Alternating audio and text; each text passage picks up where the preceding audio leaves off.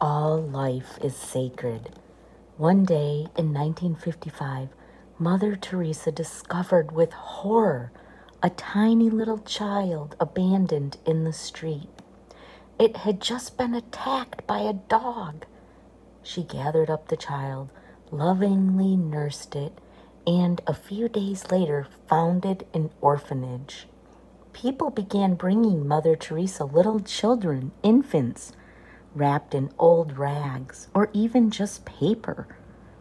The sisters would then baptize the children and care for them until they could be adopted by couples who were overjoyed to have at last a little girl or boy.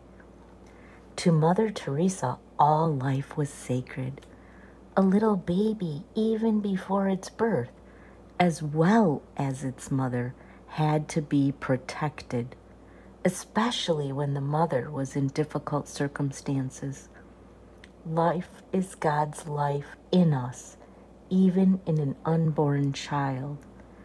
The smaller and more destitute the poor, the more Mother Teresa wished to protect them.